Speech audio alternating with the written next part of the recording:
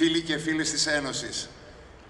Σήμερα είναι η μέρα χαράς, η μέρα γιορτής για όλο τον ελληνισμό πανταχού της γης και προπατός του ελληνισμού της πόλης του Σικάγο. Δυστυχώς σε μένα έπεσε ο κλήρος να μεταφέρω μία είδηση όχι και τόσο ευχάριστη. Εχθές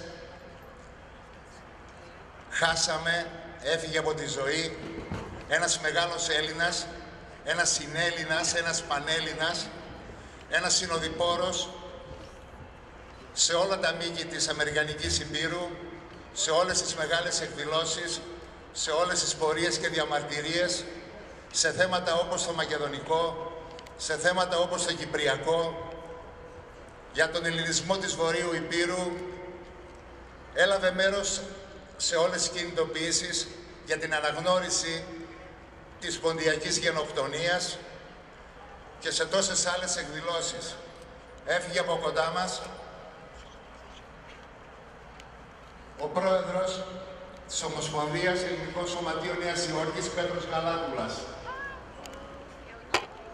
Δυστυχώς, έχει μεταφερθεί τώρα στη γειτονιά των Αγγέλων και αυτό που θα παρακαλούσα από όλους εσάς, σαν ελάχιστο φόρο τιμής που πρέπει να αποτίσουμε, είναι ενός λεπτούς σιγή πριν ξεκινήσει η μεγαλειώδης αυτή παρέλαση. Ας τον αφήσουμε εκεί επάνω που μας βλέπει να απολαύσει μία από τις πιο μεγάλες του αγάπες, την παρέλαση. Ήτανε επί τρεις δεκαετίες φίλος και μέγας υποστηρικτής της Ένωσης, συνεργάστηκε στενά με όλους τους προέδρους τις τελευταίες τρεις δεκαετίες, με τον κύριο Χανιωτάκη, με τον κύριο Ματαράγκα παλαιότερα, πολύ παλαιότερα με τον κύριο Γεωργακόπουλο, με τον αείμνηστο κύριο Σιδερόπουλο και τόσους άλλους. Σας παρακαλώ πολύ, όλοι μαζί για ενός λεπτού σιγή. Σας ευχαριστώ πολύ.